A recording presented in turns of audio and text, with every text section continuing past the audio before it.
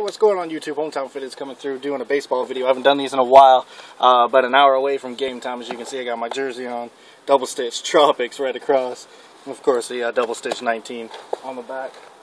You got double stitch 19. I put an MLB logo at the top there.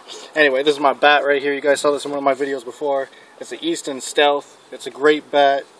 I put this little tape on there for the for the knob.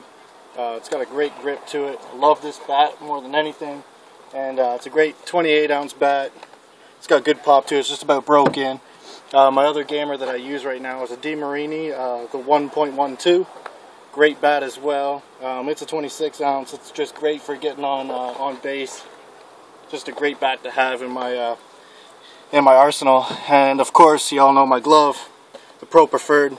It's a little dirty right now. I haven't had a time to uh, clean that up, but I will. It's coming to that part of the season where I take care of it again beginning and the end of the seasons when I start doing the uh, the oiling and everything. But if you guys are looking to get a glove, get the Pro Preferred for sure. And I uh, got this batting glove right here. This is a Franklin batting glove. I've already wore through it big time. Like I don't know if they're really worth the money. I'd rather probably stick with the uh, the Rawlings workhorses or whatever. But I did like these when I first got them, so probably still worth the money. But anyway, that's that's my stuff. Just wanted to make a quick vid on some of my baseball things. So there's my bats right there. You saw them. Great arsenal. Of course, uh, I got my Mizuno cleats on. And uh, that's my little quick baseball video. Game time's coming up. So uh, keep in touch. Hometown Fitteds. Fitted or snap, snap or fitted. Keep them clean, keep them crisp. See you on the field.